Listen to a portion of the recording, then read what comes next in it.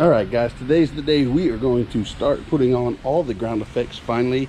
It's been a week since we painted everything. They've dried. We have to go back and repaint some of the front bumper, so it will not go on today because big genius Steve here came up with a new idea. So we're gonna have to go back and repaint that.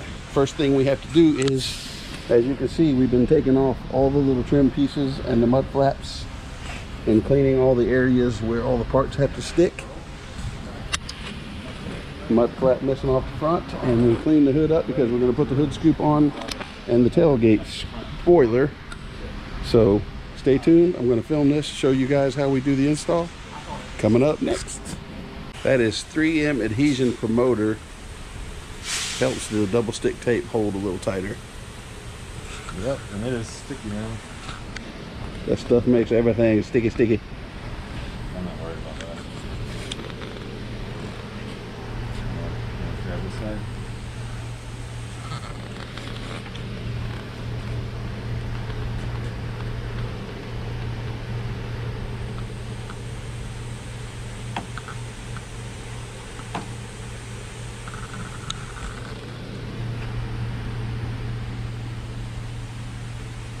where we need to be. I look. This looks good over here. Okay guys, just like that. There's now my tailgate lip spoiler. Just a little bit of a lip. Gives it a nice sporty look. What we did is we did this in a semi-gloss black because I wanted to match all the other black in the back as you can see here. Seems like it matches identical and perfect. So to me everything looks beautiful. That went on with ease with the heated promoter. What we did is we just measured each side made sure we was right. We marked one side with tape so we knew we were sitting evenly on both sides like we are. And that's it. Tailgate spoiler done. Now we're moving on to the hood scoop. I'm excited about that. We're basically using tape as markers so once we put the glue on and pull the double stick we have the exact location pinned for where the hood needs to go. Yeah. We're going to clean the edge with lacquer thinner so when we apply the glue, we have a good clean surface for the promotion. Okay, so what we did is we just peeled back the first quarter of an inch of this and laid it under there and taped it. So that gives us room without all of this being off and taped. Gives us room to set it down, jockey it into position, and once we squeeze it down with the glue around the edge, we'll be able to come back and peel this tape out from underneath of it and make sure we get a hard stick all the way around. We've already cleaned the hood with wax and grease remover. Now we're gonna apply this adhesive. And pray to God it goes down good, baby. I'm a little nervous, I ain't gonna lie. How many tubes? You said two? Yeah. And Yeah. Did the rockers get the same treatment? Yes.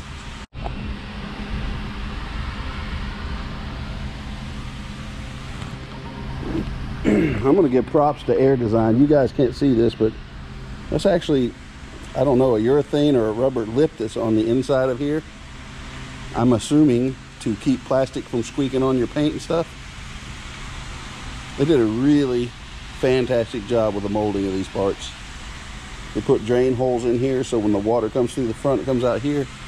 There's a drain hole here and a drain hole here. So the water does not stay inside the parts. They did a fantastic engineering job. All right, guys, here comes the scary part. Laying this thing back. Listen, I Where think it we need to belongs. the back first. You sure? Yeah. Because I don't know how far. Steve, put. It's going to be like an eighth of an inch. About where I am. Yep, about where you are. Keep your finger in the How- center. The tape is under my part. Okay. You need to go towards it. Right there. There, that's perfect. Do I look good right there? Yep, we both look good right there. Keep your finger there, Steve. I got it. Kind of hold up a little bit. I'm up. All right, so you're holding center. I just don't know where center is. I didn't lay the I'm center okay to tape. Start bringing it down. I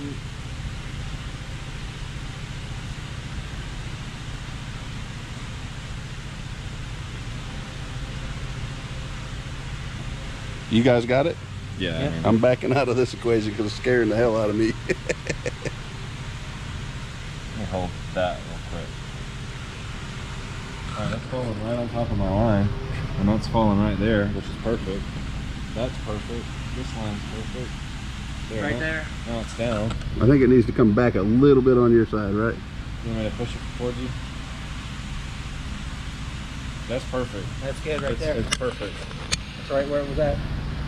Take a look across it.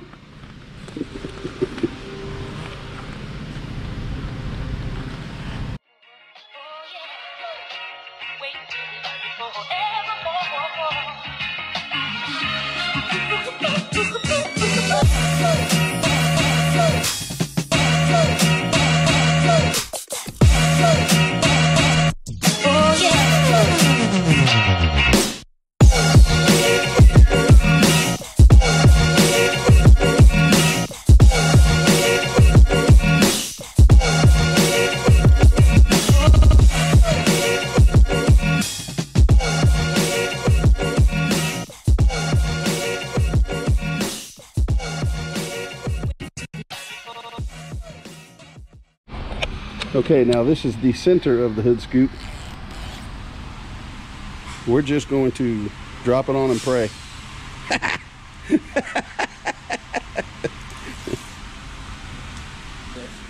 you grab that side for me, Tyler, please?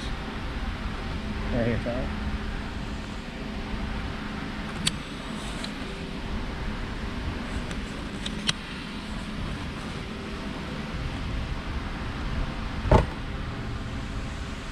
What's up?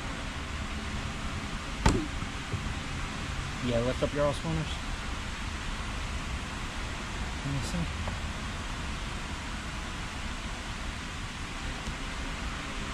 Yep. That's it.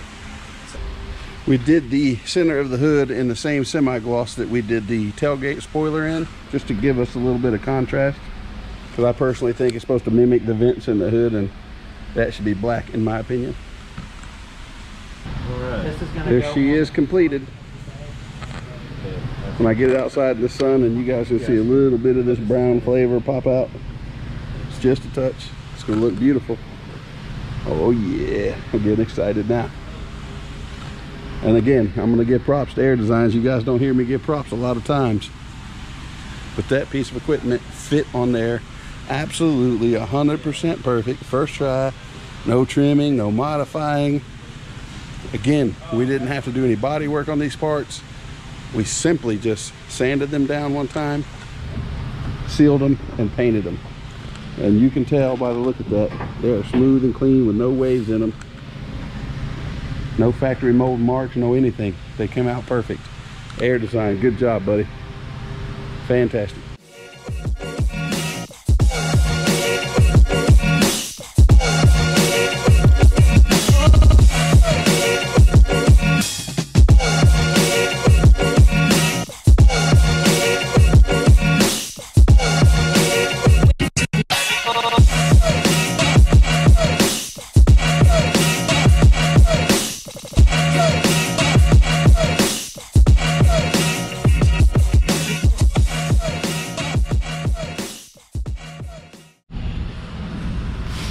Okay, now we're gonna print and repeat.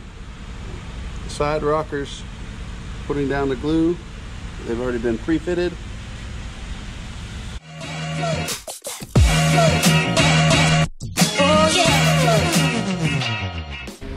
There you go, side skirt installed. Everything fits smooth and flush. I'm gonna rant and rave about this kit again. It did a fantastic job. Look how smooth and clean that line is. All the way down. All the way down that door seam. I do not think this kit could have fit any better. The line there smooth and clean.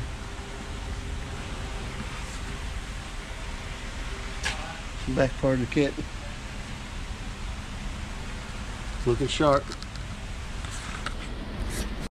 So we're back and we're doing the final stage, which is the front lip spoiler front bumper cover. Took me multiple days to figure out exactly what colors I was gonna paint where because there's so many different lines on this thing. So we got it in here, we got it baking right now. It's been painted about a week, but we're baking it just to make the plastic limber So when we go to install it, it will be a lot easier for us to install and manipulate. And uh, because it is plastic. So I'm gonna show that to you guys. Stay tuned. So basically what we did is ran this thing through a heat cycle. Since it's made out of plastic, it made it a lot more limber. So when we go to put it on the truck, it will be easier for us to manipulate.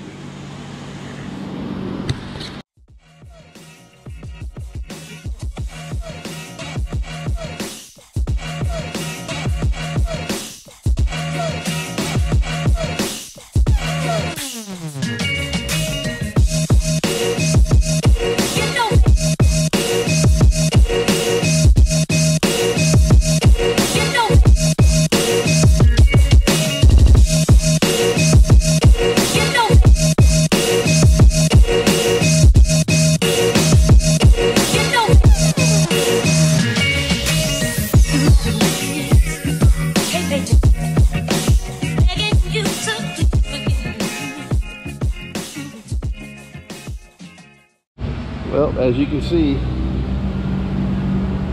that gave it the finishing touches. Looks smooth. What we did is we painted this with a semi-gloss black right here to match this edging of the truck. One other thing that I have not showed you guys is we also painted this in a semi to match into the hole there. This bumper used to have these like triangle brackets sitting on here molded to hold your front license plate. But in Georgia they do not require a front license plate and I think these things look rather goofy myself. So I paid the body man to actually cut these off of both sides mold that back in and fix that. As you can tell it came out really smooth and nice and I think it just gives a little more custom touch. If there's one thing I think Air Design should do, should be make these pieces separate and give them to people to put on if they want to put a front license plate on. That way you don't have to stare at those